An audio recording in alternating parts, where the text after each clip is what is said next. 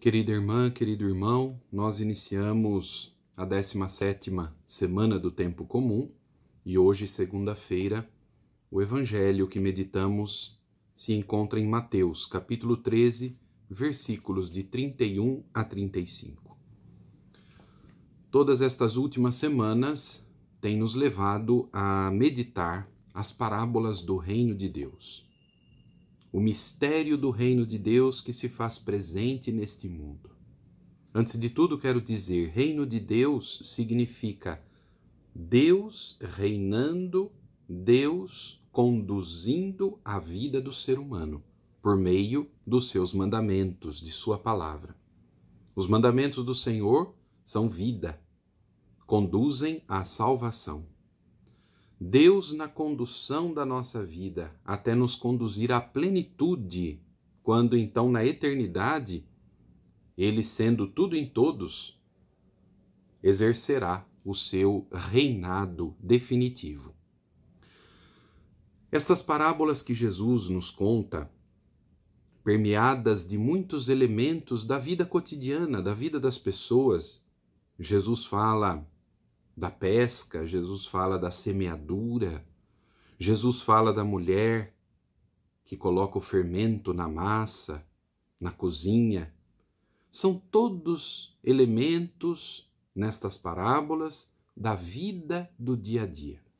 Para entendermos que Deus espera de nós, em primeiríssimo lugar, uma adesão a Ele a partir de um coração humilde a partir da nossa pequenez.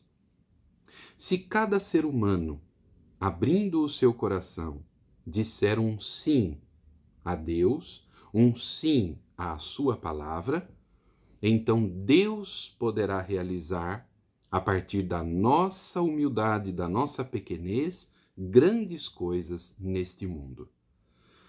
Hoje Jesus nos diz que o reino dos céus é como uma semente de mostarda, a menor de todas as sementes, mas que quando cresce fica maior do que as outras plantas. Eis aí a pequenez desta semente de mostarda. É o nosso coração, é o nosso sim.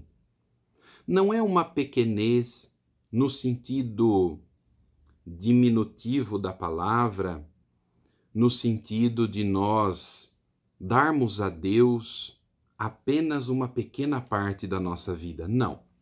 Não é quantitativa a questão, dar muito ou dar pouco a Deus. Pequenez é coração humilde, que reconhece a verdade de si mesmo. Uma pessoa que sabe a verdade a seu próprio respeito é uma pessoa humilde, conhece seus dons, mas conhece também os seus limites, os seus pecados, as suas mazelas. Espelhemo-nos em Maria. Ela disse um sim generoso a Deus e cantou de alegria ao dizer o seu sim, reconhecendo a verdade de si mesma. Ele olhou para a pequenez de sua serva. Assim devemos ser como este grãozinho de mostarda no nosso sim dado a Deus.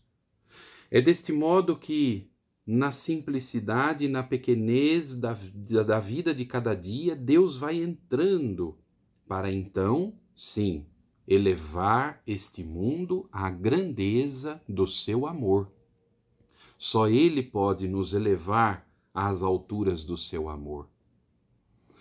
Depois Jesus diz que o reino dos céus é também como o fermento que a mulher pega e mistura com três porções de farinha até que tudo fique fermentado. Dizer sim a Deus é dar a Ele a nossa pequenez, e esta pequenez é como uma pitada do fermento, no meio de uma quantidade maior de farinha de tal maneira que este fermento vai transformando toda a massa para fazê-la crescer.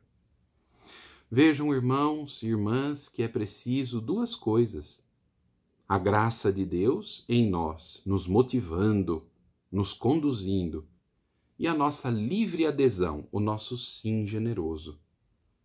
Quando estas duas coisas se encontram, a grandeza do amor de Deus e a nossa pequeneza, a nossa humildade, o reino de Deus acontece neste mundo. Coragem.